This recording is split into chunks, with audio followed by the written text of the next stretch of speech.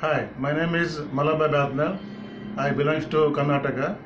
I am basically a textile engineer, and uh, with this company, I came to know this company last uh, three four years, and uh, right now I am using the paste, Conybio paste, because my gums were very soft and now they were strong.